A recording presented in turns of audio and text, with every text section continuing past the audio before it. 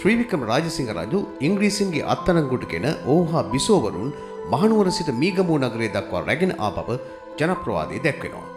මිගමු ආසන්නයේදී පිපාසිත වූ රජුට ජලය ලබා දීමට ඉංග්‍රීසි බටයෙන් තැත් කළද එය ප්‍රතික්ෂේප කළ රජු ඒ අවට පිහිටි ඇලකින් ජලය පානය කොට එයට දිය හොඳ ඇලයයිද ප්‍රකාශ කළ බවත් ඒ නමම අද ඊට භාවිත වන බවත් ඉතිහාසය සඳහන්.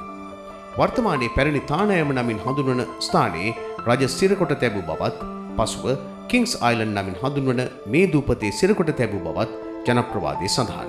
මීගමුවේ කිංස් අයිලන් හෙවත් රාජකීය දූපත සංචාරකයන්ගේ බහුතර අවධානයට ලක් වූ විශේෂිතම ස්ථානය.